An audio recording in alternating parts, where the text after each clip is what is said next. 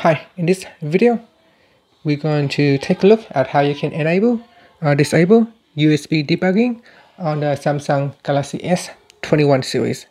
First, tap on the home key to go back to your home screen. Then, swipe down at the top and tap on the settings button. Next, go down and tap on developer options.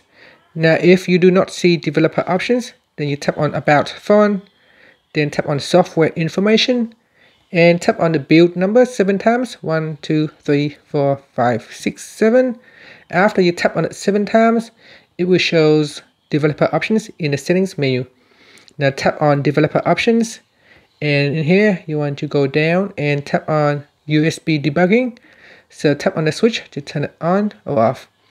And it say that USB debugging is intended for development purposes only Use it to copy data between your computer and your device, install apps on your device without notification, and read log data. If you are happy, tap on the OK button to proceed. And that's it. And finally, you can tap on the home key to go back to your home screen. And that's it. Thank you for watching this video. Please subscribe to my channel for more videos.